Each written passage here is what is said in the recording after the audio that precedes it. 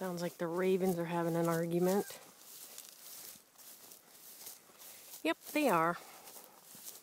There goes one. The other one's sitting on top of the waterer, having a drink.